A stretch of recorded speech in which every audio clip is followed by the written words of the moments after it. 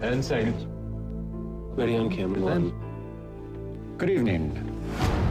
Any man who protects communists is not fit to wear that uniform. You can't convict people by rumor and hearsay and innuendo. Are my children going to be asked to denounce me? Are they going to be judged on what their father was labeled? I see a chain reaction that has no end. Charges were in a sealed envelope. Nobody saw them. Wouldn't you guess that the people who have seen the contents of that envelope might have Who? a better idea of what makes someone a danger to his country? Who? Or do you think Who it should just be people, you sir? that decides? Who are the people? Are they elected? Are they appointed? Is it you? I've searched my conscience, and I can't find any justification for this. Our next show is going to be about Senator McCarthy. We're going to go right at him.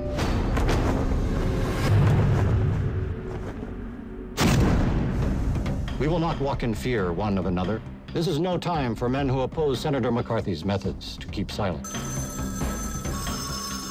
Mr. Edward R. Murrow has made repeated attacks upon me and those fighting communists. Somebody's going to go down.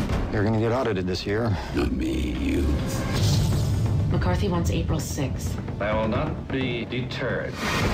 We're going to go with the story, because the terror is right here in this room. Ten seconds. Five,